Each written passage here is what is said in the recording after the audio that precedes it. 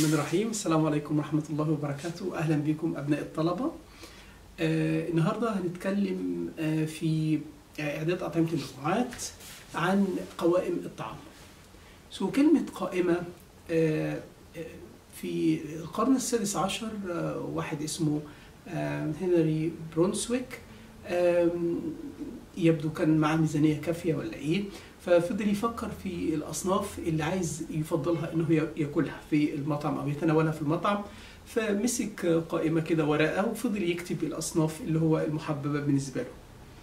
هو في الحقيقة هو ده شيء طبيعي يعني بيحصل مع ناس كتيرة ومش مش هنري برونسويك في القرن السادس عشر هو اللي ابتدى ده لكن في الحقيقة آه، هي فكرة موجودة عند الإنسان. لما الإنسان بتتاح له ميزانية كافية بيستطيع إنه ياخد قرارات وياخد آه، يشوف هو عايز ياكل إيه. حتى إحنا بناخد دي قرارات يوميا آه، إحنا ناكل إيه النهارده؟ فدي برضو منيو أو طريقة للتفكير آه، في وضع قائمة لليوم.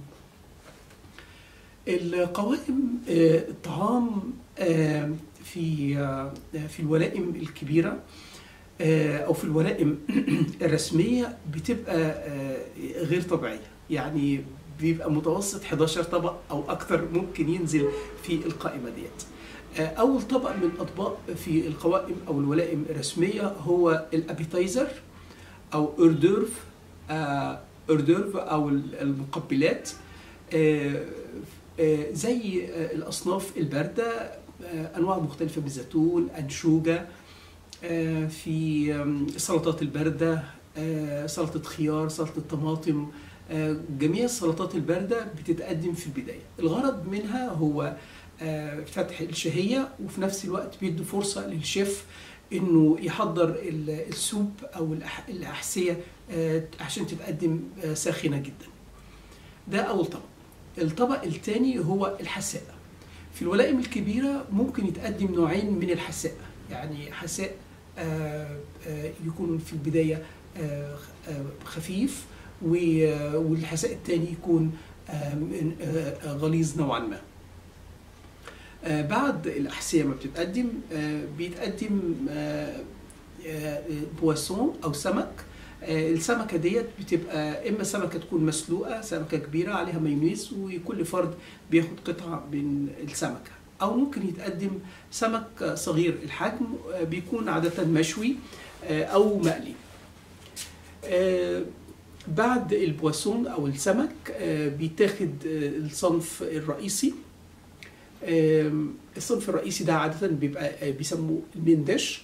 وبيبقى في لحوم في ممكن يكون اسكالوب بانيه ممكن اسكالوب بروتير بيتقدم الصنف دوت ومعاه بعض أنواع ال- الخضر السوتيه أو الصلصات المناسبة معاه.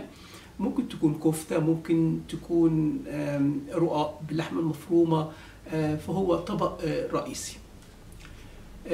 بعد الطبق الرئيسي ما بيتقدم بيتقدم بعد كده مشروب منعش زي مثلا عصير البرتقال أساس يساعد على إنعاش الشهية.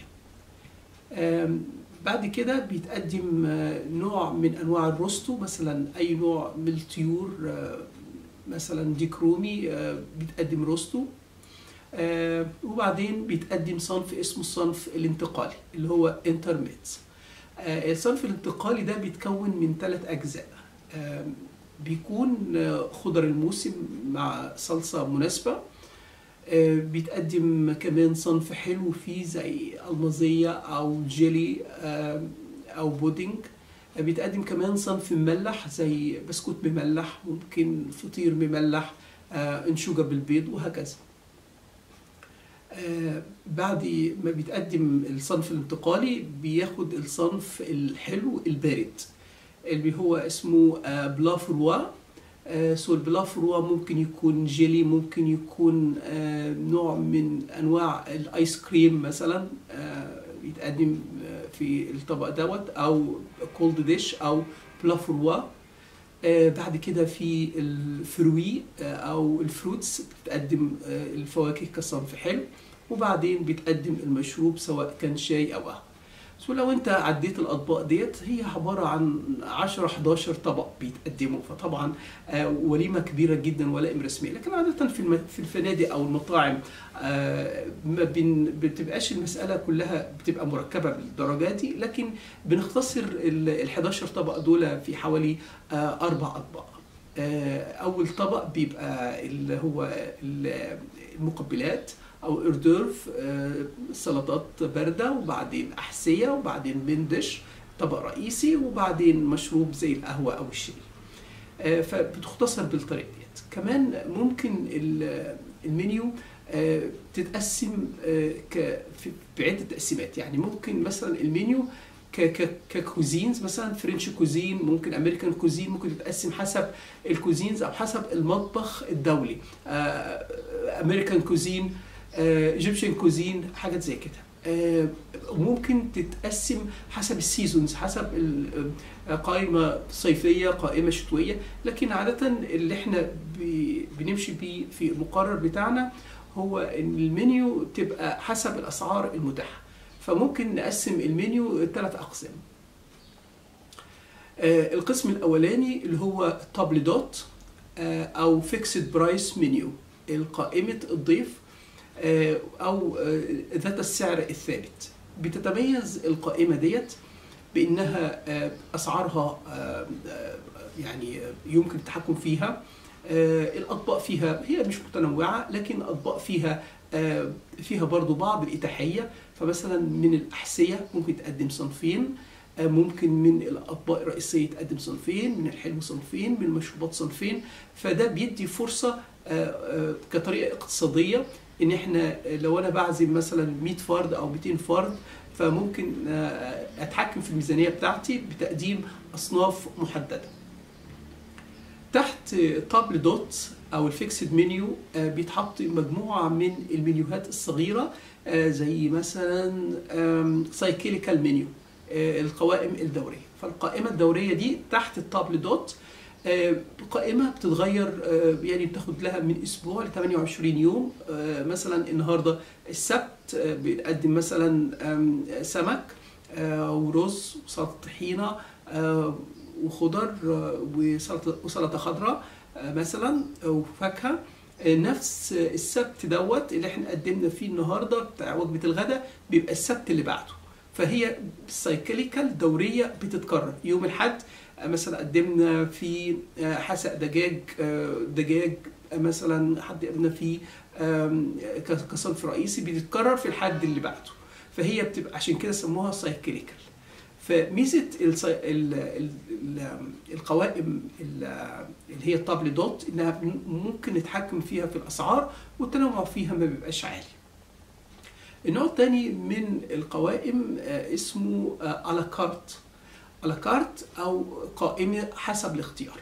آه، قائمة حسب الاختيار ديت آه، لما بتكون في ميزانية متاحة آه، بختار الأصناف اللي أنا برغب إن أنا أتناولها وممكن تن وتنزل بالترتيب يعني مثلا المقبلات البارده الأول الاحسيه الصنف الرئيسي وبعدين ال- الصنف الحلو وبعدين المشروب بختار أنا براحتي المشروب المشروبات بختار الطبق الرئيسي ما يبقاش فيه محدد ليا. يعني مثلا إذا كانت في قائمة الضيف في طبقين محددين بس إما يكون سمك أو دجاج مثلا. لكن في قائمة الاكارت ببقى براحتي بقى بختار لأن أنا اللي بدفع الميزانية بتاعتي أو عندي ميزانية متاحة ممكن إن أنا أشتري بيها الأصناف ديت أو أتناول بيها الأصناف ديت. تحت الاكارت في مجموعة من القوائم أو قويمات آه، قويمات صغيرة. القويمات دي زي مثلا تحت آم، آه، زي مثلا بريكفاست منيو ممكن برضو دينر منيو فأنواع مختلفة من المنيوز تحتيها. آه، دي دي من آه، مثلا في في أنواع مختلفة تماما. بص برضو في الكتاب في التفاصيل عن أنواع ال menus اللي موجودة تحت à la carte. النوع الثالث من المنيوهات آه، المنيوهات المختلفة أو أنواع أخرى من المنيوهات آه، اسمها مثلا زي static menu في آه، du jour menu آه، قائمة اليوم. فقائمة اليوم بتتحط مثلا تحت المناسبات المختلفة. فعيد الأم ممكن تقدم طبق آه، تحت du jour menu آه، ممكن مثلا اللازانيا بتبقى مشهورة في, عند الأجانب عند du jour menu آه، ممكن مثلا بمناسبة من المناسبات السعيدة يتقدم طبق بالمناسبة ديت. طيب يبقى إحنا كده عندنا أنواع ثلاث أنواع من القوائم أو قائمة بتحتوي على ثلاث أنواع table d'hôte اللي هي fixed price وزي تحتها بيسليها cyclical menu أو ال- القوائم الدورية وعندنا آه، ال menu à la carte حسب الاختيار آه، الميزة بتاعتها إنها فيها تنوع في الأطعمة الميزانية بتاعتها بتبقى عالية آه، زي مثلا ال dinner menu وفي breakfast menu وفي luncheon menu ال luncheon menu هي آه، هي عبارة عن آه، الوجبة وجبة غداء رسمي برضو بتتقدم. آه، ال- القائمة الأخيرة هي قائمة المتنوعة أو قائمة مختلفة زي static menu وزي du jour menu وقلنا مثال لل du jour menu زي الأطباق اللي بتبقى مشهورة في بعض الأيام طبق بمناسبة عيد الأم طبق بمناسبة عيد الأب آه، طبق مش عارف بمناسبة إيه فبتبقى أطباق آه، موجودة في المنيو ديت. آه، لحد الجزء بتاع المنيو أنا سعيد بيكم إن أنا آه، آه، ألتقي بكم في الحلقة ديت وأترككم في رعاية الله والسلام عليكم ورحمة الله وبركاته.